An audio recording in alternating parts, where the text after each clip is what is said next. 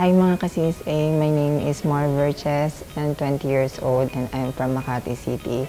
I'm a senior high student and nandito ako ngayon sa CSA Derm Center kay Dr. Contessa to have my non-surgical nose job. And isa ako sa mga sumusubaybay sa mga video ni Dr. Contessa and masasabi kong sobrang nice dito ng mga nagagawa ni Dr. Contessa. And yun napapanood ko, sobrang satisfying for me. That's why po, napunta po ako dito kay Dr. Contessa. Nag, na, nag, nag-appointment po agad kami para po magawa po yung pinapangarap ko pong nose. Kaya kung gusto niyong gumanda ang inyong ilong at ma at makamtam yung pinapangarap yung itsura, ay pumisita na kayo dito sa CSA Derm Center and Don't forget to subscribe and ring the notification bell to keep you posted.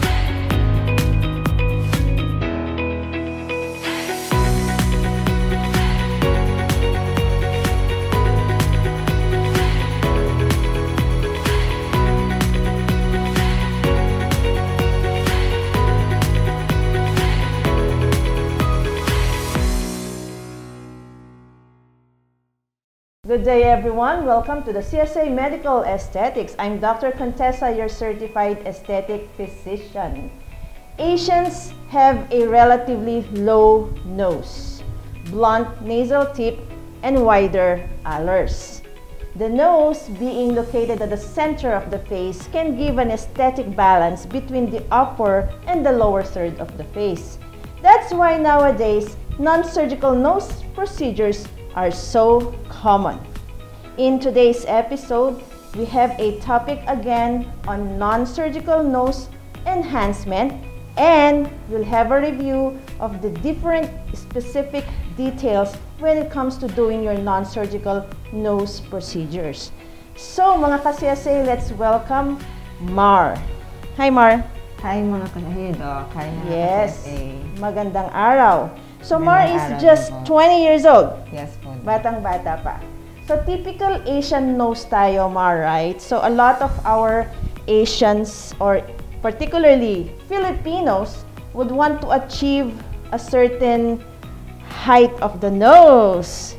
Yan. So, of course naman, we wanted to have this very attractive looking nose. So, ano nga ba yung attractively proportioned nose? Okay? Actually, there's no universal parameter that dictates what a perfect or ideal nose is.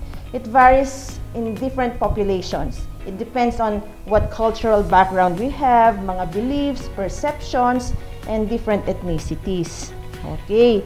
That's why yung iba, actually when I go to the US, the Americans are telling me, you Filipinos have beautiful nose already. Why are you still enhancing your nose? It's already beautiful. See, for them, we have a beautiful nose. But here in the Philippines, we feel like we still don't have that beautiful or attractive nose. So, it's dependent talaga kung ano yung culture, ano yung ethnicity natin. Okay, that's why in this episode, let's have some review yung anatomical parts and at the same time, yung details ng procedures on how to do it. Okay? So, it's very important to do procedures like this um, under qualified professionals and also following the safety rules. Okay, so Mar, Yes po. excited ako. Excited Kasi if you're gonna look at the surface anatomy sa nose ni Mar, so the radix or cilion, which is the lowest part ng ating bridge, this part here between the medial canthi of our eyes, kay we wanted to still elevate that. Because in aesthetic medicine, actually, we have rules of ratios and proportions. We follow certain angles. Like, for example, here, we have the nasofrontal angle. Ideally, it should be 115 to 130 degrees. So, yung kay Mar here, the radix height is kind of uh, inadequate. So, we still have to elevate it. So, this part here for Mar, what I'm gonna do is to increase the height on the radix portion, right? Kasi dito nga, when we're in a frontal view, parang flat. Flat yung dating ng nose natin. So when it comes to the rhinion already, so take note, the rhinion, some other people have this bump. That's the rhinion part where you have the connection between the bone and the cartilage. So the others have the bump here. But for Mar, so it's not elevated or it's still flat over this part here. And when it comes to this supratip region, some people have this break here, pero kay Mar wala. And when we reach the so-called tip defining point, it's kind of um, rounded, blunt, hindi siya pointy, okay? And we go to the infratip region and the columella. The columella is short. So, in other words, tayong mga Pinoy, we have this flat here or it's not that elevated or it has an inadequate projection. And when we assess the alars, ayan, so Asian or Filipino nose tend to have this wide alars here. Okay, so visible yung nostrils natin. Okay, and when we inspect on the nasal spine there, it's also flat. So that's the Asian features. Asian nose features. Okay, unlike yung mga Europeans, mga whites, kita mo sila talagang mataas, pointy, narrow, slim. So that's our dream nose. So sa Asia, in Philippines, that's what we want to have. Correct, Mar? Correct po. Gusto mo rin yon? Gusto ko rin po. Okay. Gusto ko rin yon. So, let's show the actual procedures sa pagbabalik ng CSA Medical Aesthetics.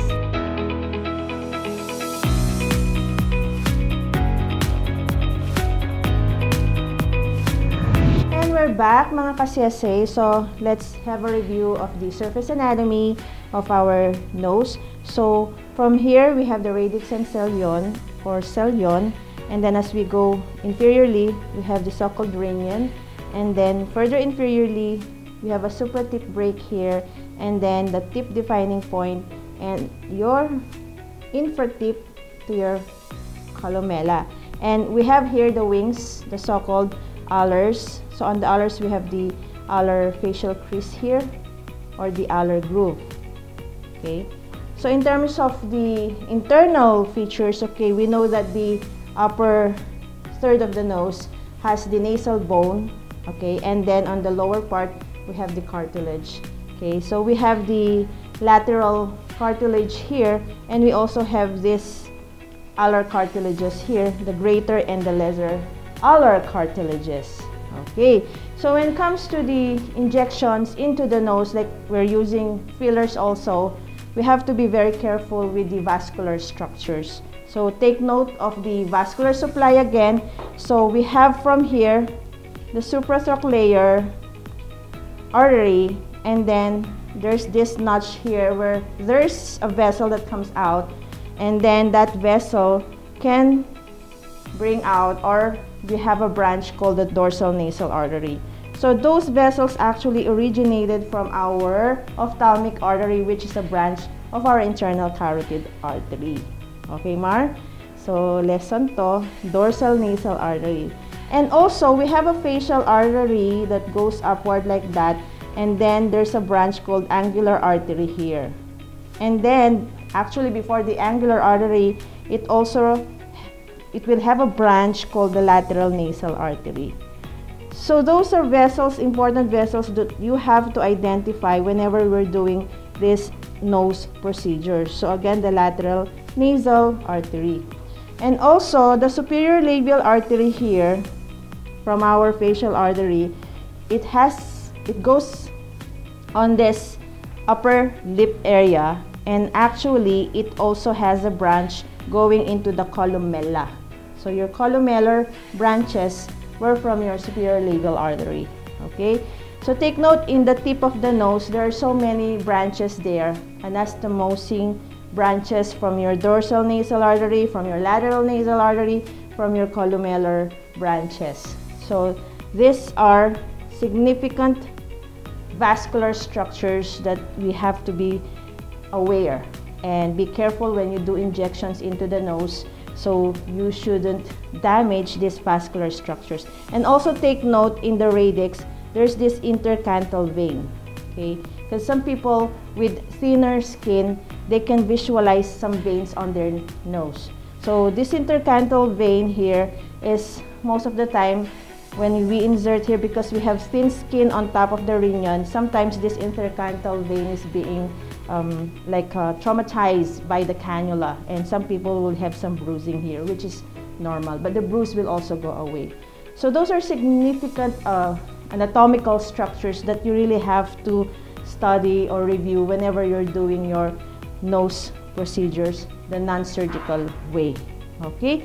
So after that so we have a markings on the dorsum and the tip and the columella so whenever we do procedures like inserting either filler or the PDO threads, so you have to make a marking on the dorsum midline and then also in the infratip. You have to first identify what will be your entry point.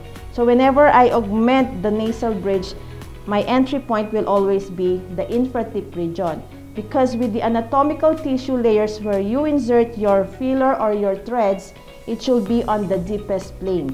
Okay, so as a review, the different anatomical tissue layers of the nose, we have the skin, the superficial fatty layer, fibromuscular layer, deep fatty layer, and the perichondrium and periosteum. So when you place your filler or your threads, you have to stay supraperichondrium and supraperiosteum.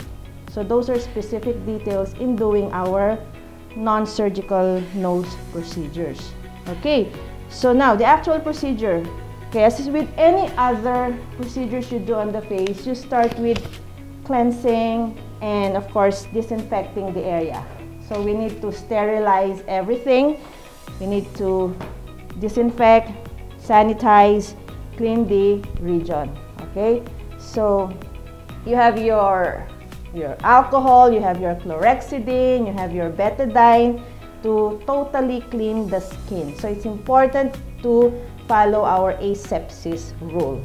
So after that, we have to identify the entry point, okay? So for dorsum augmentation, the entry point will be the infratip lobule.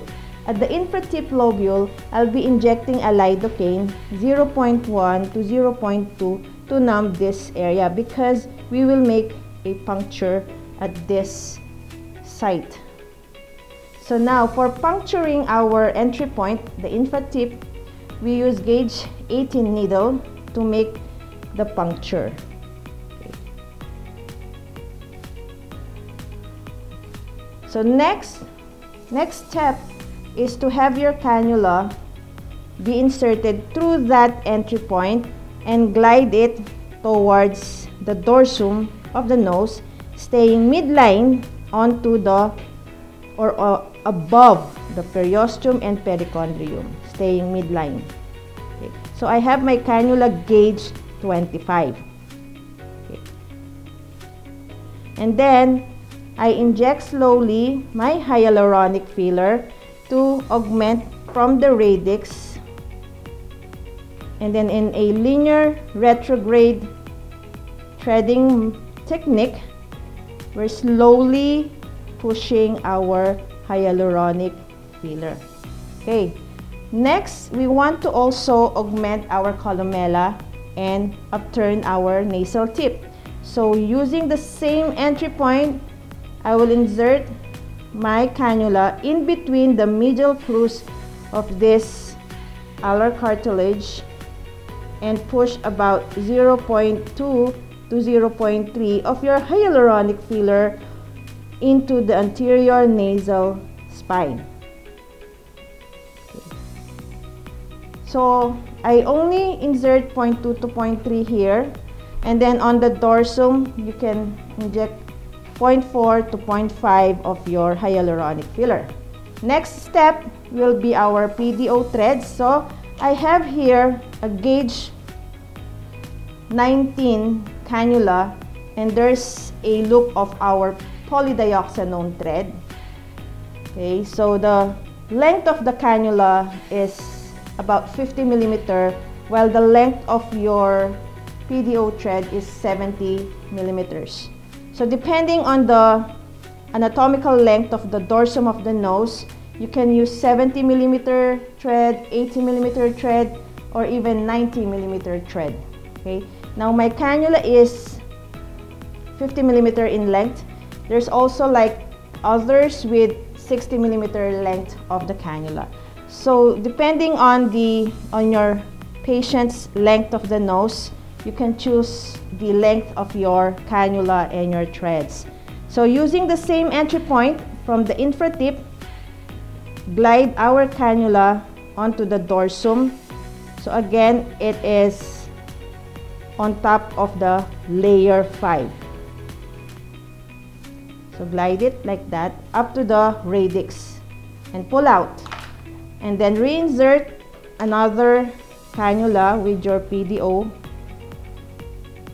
You can just glide up to the radix.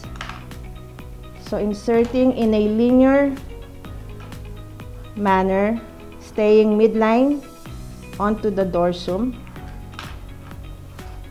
So in terms of the number of the PDO threads, it varies among different patients. So some would want to have a higher nose. Some will just want to have minimal elevation. So you have to ask them first, do they want it very obvious or do they want it subtle? So sometimes you experience some resistance there. You can just twitch a little bit your cannula. So for MAR, I can use about 8 to 10 PDO threads on the dorsum of the nose because we really want to do an anterior projection of the dorsum of the nose. So we're already on the how many PDO threads? 7 and then 8. Okay. So for our tip columella projection, I make another entry point for my tip columella augmentation. The main reason is if I still use the same entry point, the infratip, it's very anterior or rather it's near the upper lip region. Cases could happen like the thread could migrate or be displaced into the inner gingiva or the inner mucosa of the upper lip. So to prevent that, I make another entry point, so about 5 millimeter superior to your infratip entry point. I make another puncture specifically on the tip defining point. So now I'll use my short PDO threads now. So this is a gauge 19 cannula with a 30 millimeter length of the PDO thread. Or some cases you can use 40 millimeters of their PDO thread. You have you have to assess the length of the columella also. So for the case of MAR, we have a shorter columella, so I'll use the 30 millimeter PDO thread. So your entry point, it should be perpendicular and grasp your columella to make sure that it's between the medial crus cartilage. Okay, there you go. So just a simple technique like this. So for some cases, I use two PDO threads to five PDO threads. Okay. So grasp the columella and you have to reach the anterior nasal spine. Okay. You have to inform your patient that there's some discomfort like um, you're feeling it on the upper area like the incisor fossa, you're feeling something is poking into the gingiva. Okay, so we're done with bridge augmentation and tip columella projection. So we have done the bridge augmentation and the tip columella projection We'll show the treatment outcome when CSA Aesthetics return.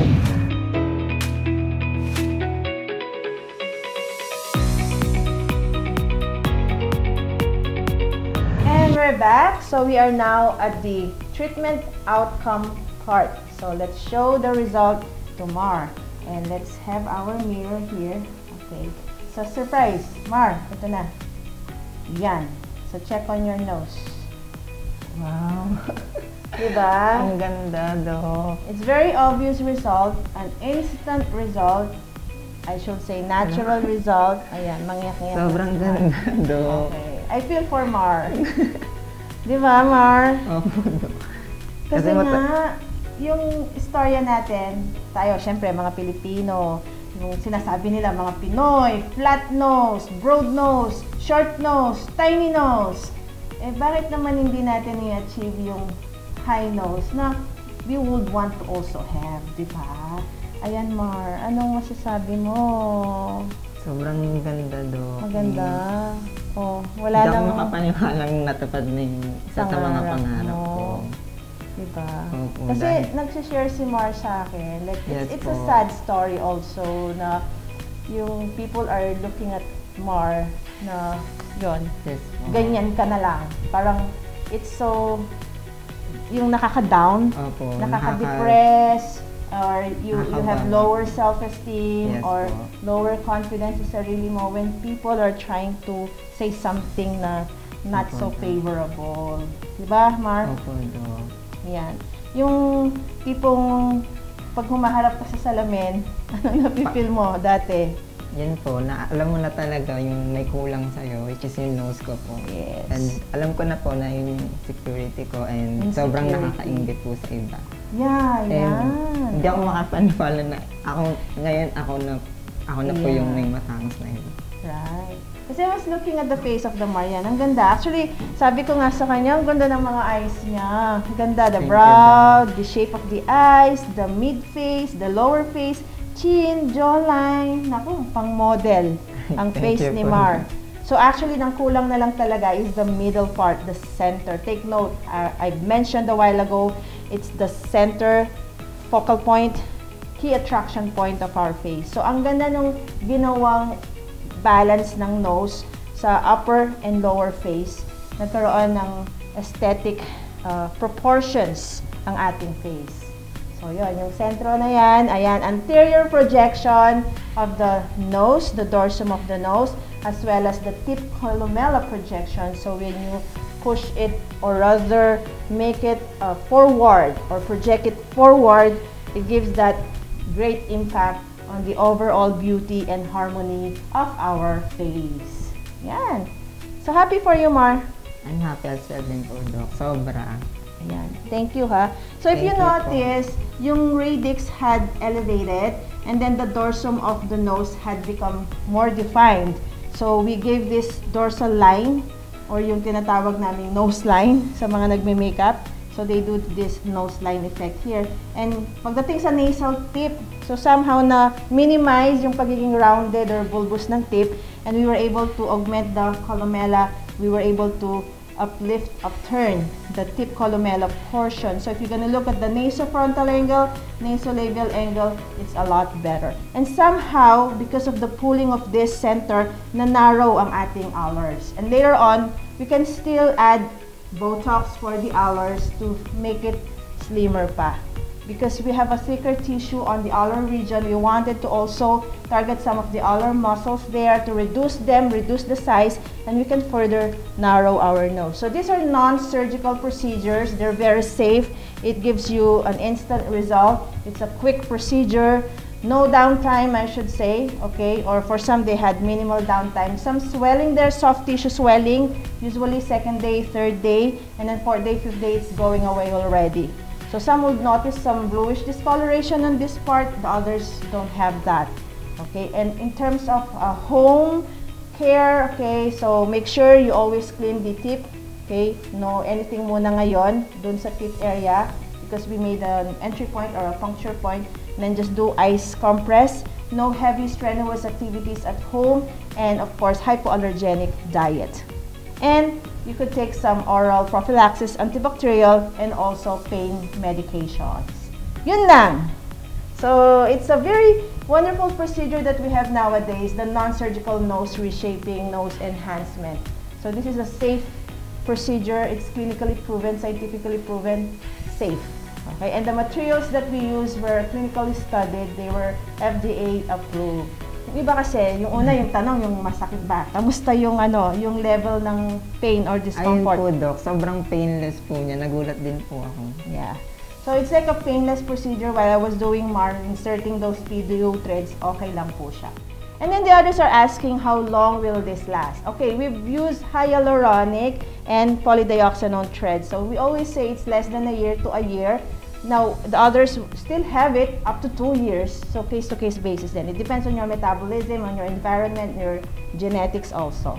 Okay, and you can do a repeat of the procedure like after a year, the others after two years, or the others even less than a year, like after three months, six months, if they still want it higher. Yan. So marami tayong information sa episode na ito. This is actually a very educational episode. Okay? So wala nang tanong si Mar. Everything is clear. Everything is okay. So yan. Later on, we'll still add a little bit of some Botox on the others para mas mag-slim pa and lalong ma-perfect yung proportions ng kanyang face. And I think we're showing some before and after photos. So if you have any questions, you may email us at csaskinclinic at yahoo.com, our FB page CSA Medical Aesthetics, and Instagram CSA Medical Aesthetics. Our clinic is located here at the Infinity Shop, Francisco G. Nepomuceno Avenue, Pulung Maragul, Angeles City. Contact number 0933-860-9193 or 0917-504-4268. And our other topics are in our YouTube channel. Just type Contessa Salvador and please do not forget to click like and subscribe as well. Okay, God bless you all. God bless, Mar. When it comes to natural beauty, you can trust the CSA Medical Aesthetics.